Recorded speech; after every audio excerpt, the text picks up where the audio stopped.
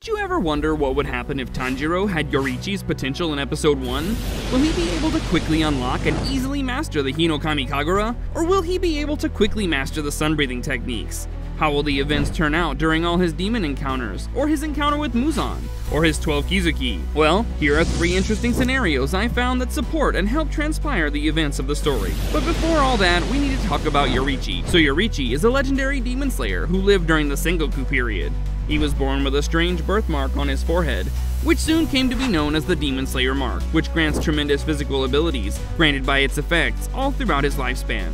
He's known as one of the strongest and most powerful demon slayers in history, and the creator of the original breathing styles, particularly the sun breathing technique, which is the foundation of all the breathing styles.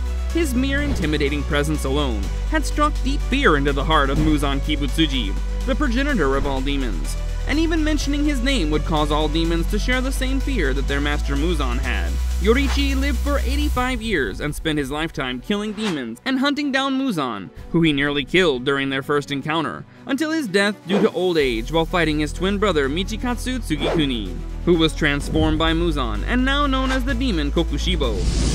Now in the first scenario, Tanjiro with Yoriichi's potential can effortlessly take on lesser demons with little to no effort even without a sword, or even give Giyu Tomioka, a water Hashira, a hard time subduing Tanjiro during their first encounter, while the latter defended a transformed Nezuko. In the original story, where Giyu moves in to strike Nezuko, and Tanjiro moves toward him to save her, but quickly gets subdued, not long before throwing a stone at Giyu as a distraction, and at the same time, threw an axe in the air which nearly hit Giyu's head.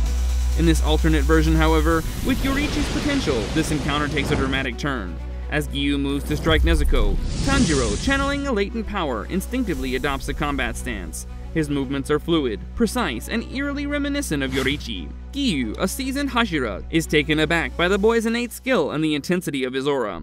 But despite his shock, Giyu's experience allows him to finally subdue Tanjiro, but not without a struggle that makes him reconsider his initial assessment of the boy. Recognizing the untapped potential within Tanjiro, Giyu decides to bring him to Sakonji Urokodaki, a former water Hashira, sensing that the boy's latent abilities could be honed into something extraordinary. Now, this is just one of the three scenarios of the story that could transpire if Tanjiro had Yoriichi's potential in the first episode. In the second scenario, Urokodaki's water-breathing training and the final selection arc would take an entirely different turn. Tanjiro, with Yoriichi's potential, could finish his first training with water-breathing techniques with little to no effort while simultaneously unlocking Hinokami Kagura, and tapping the potential power of sun breathing. He can also, with little to no effort, pass the final selection trial all alone, without any help needed. Upon his first meeting with Urokodaki, Tanjiro's training regimen begins. Unlike the original story, where Tanjiro struggles to master the basics, his natural affinity for combat becomes apparent almost immediately. Urokodaki, a former water Hashira, recognizes the unparalleled prowess in Tanjiro's movements, he intensifies the training, pushing Tanjiro to his limits, knowing that the boy's potential could make a significant difference in the fight against demons. During his intense training under Urokodaki, Tanjiro soon realizes his father's traditional dance, known as Hinokami Kagura, is a form of breathing technique. Just three months after his physical training, he sets aside the water breathing to fully master Hinokami Kagura, prompting Urokodaki to intensify the training even harder based on Tanjiro's new breathing technique. So during those times, Tanjiro shows a staggering and significant phase of growth of his abilities and combat prowess to the point of near Hashira level. And within a span of another three months, he was mandatorily tasked by Urokodaki to complete the final test of slicing the boulder effortlessly. Deep down, Urokodaki knows that he's training a beast among men that is Tanjiro. In a moment of tranquility, Tanjiro once again taps into his subconsciousness while feeling the air in his lungs and his aura suddenly burn brighter like the sun. And before Urokodaki could turn and walk away, Tanjiro not only splits the boulder in half, but shatters the two halves into rubble which is the single strike with sheer force. As he does so, however, two shadowy figures appear behind the mountain fog filled with the wide smile and tears of hope and joy in their eyes.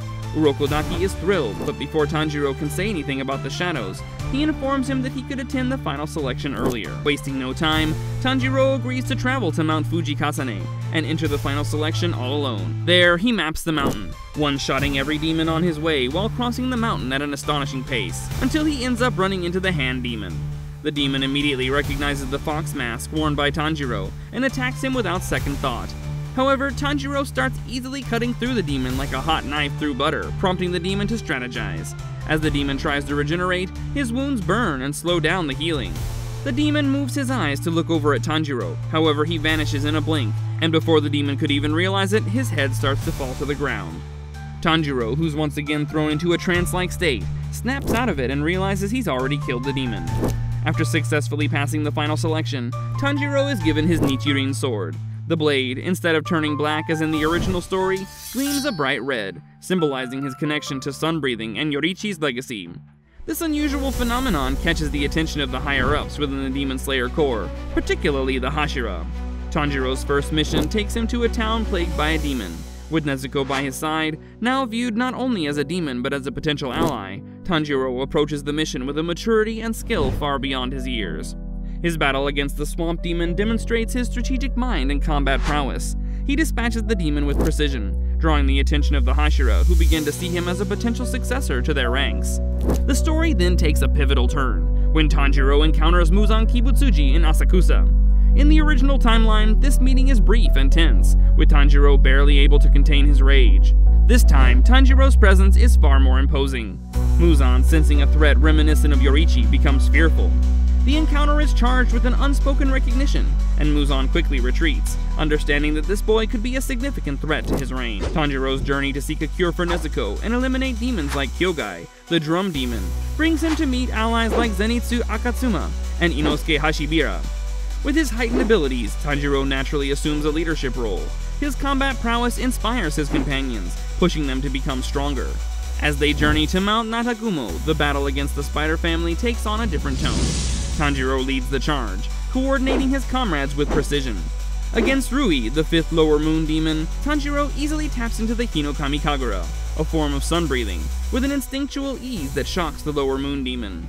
The sun breathing was so strong that Rui couldn't regenerate due to his wounds burning. Rui, who had underestimated Tanjiro, finds himself overpowered, and with the help of Nezuko, they manage to effortlessly kill Rui, before the arrival of the Hashira and reinforcements. His fight against the father spider demon and Rui showcases his mastery of both water and sun breathing, eliminating threats with a fluidity that leaves even the seasoned Hashira in awe. Recognizing his exceptional potential and mastery of the sun breathing, the Hashiras propose that he should undergo Hashira training. Here, he learns to enhance his techniques and refine his abilities even further. His interactions with the Hashira are characterized by mutual respect. Months after undergoing Hashira training, Tanjiro, who has now grown and has fully mastered the sun breathing, sets out to prepare for their final confrontation with Muzan and the remaining Upper Moon demons. Which brings us to the third scenario, which culminates in the final battle in the Infinity Fortress. Tanjiro, now on par with Yoriichi himself, vows to defeat Muzan once and for all, and end the long era of demons. His mastery of the sun breathing combined with his strategic acumen and unyielding spirit makes him a beacon of hope. The battles within the Infinity Castle are fierce, but Tanjiro's leadership and combat prowess turn the tide. Unlike the original story, where several Hashira and many Demon Slayers were killed during the battle, this scenario, however, allows Tanjiro to utilize effective strategies to reduce as many casualties as possible. His confrontation with the Upper Moon, such as Akaza, takes a different and decisive turn, and with the help of Giyu and Rengoku, they were able to finally defeat him with ease, which allows them to help out the other Demon Slayers and Hashira who were in battle. The final showdown with Muzan is an epic confrontation, Tanjiro, channeling the spirit of Yoriichi and utilizing the mastered sun breathing, confronts the Demon King with a determination that would define the fate of the world. This version of Tanjiro, with Yoriichi's potential, could stand as a testament to the unyielding spirit of the Demon Slayer Corps, and the enduring legacy of the warriors who came before him. To be honest, an individual like Tanjiro, with the potential of the strongest Demon Slayer, could face many challenging trials and accomplish impossible feats as time goes on. That individual would forever carry that legacy to the current era. Speaking of the current era, what would happen if the strongest Demon Slayer lived in the same era as Tanjiro? Well, that's the subject of another video. In the meantime, click on this one to see another cool anime video. Go ahead, click it.